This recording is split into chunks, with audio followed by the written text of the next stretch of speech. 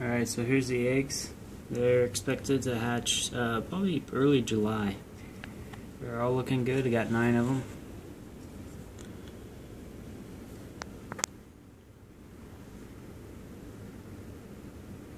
And they're starting. They've started to swell up probably recently. Ones on the right haven't quite yet started to swell, but these other ones have swollen up quite a bit. What they do is they just start taking in fluids, getting bigger and bigger. That's it.